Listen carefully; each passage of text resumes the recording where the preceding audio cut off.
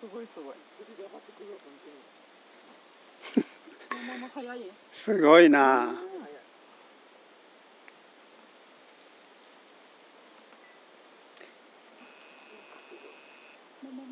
三坂峠に太陽が昇ってきました霧の中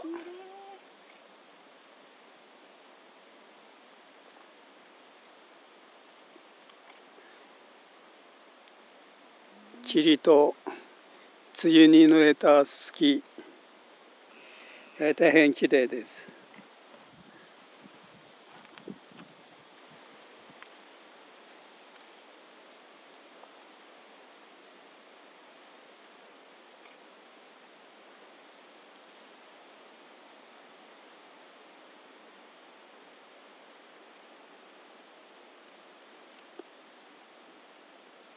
中秋の名月もそろそろやってきますけれどもまるで中秋の名月のようですしかし少し欠けてますねこれ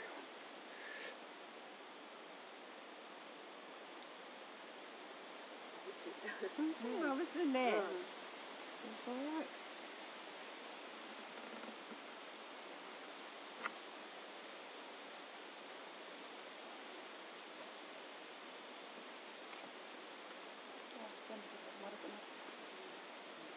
辺りを映してみます。カメラを振ります。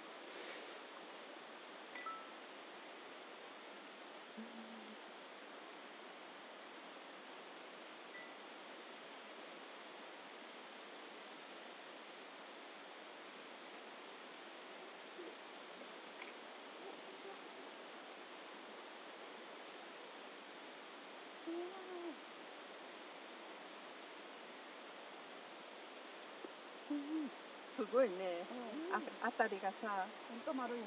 うん。あたりが霧であそこだけが。うわ丸々。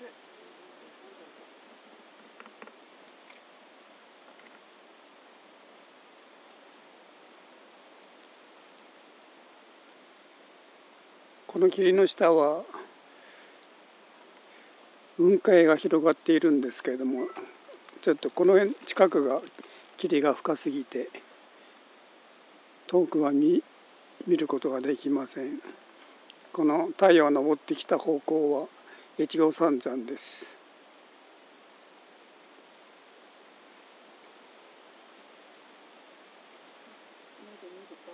違うよね、これ取ると。うん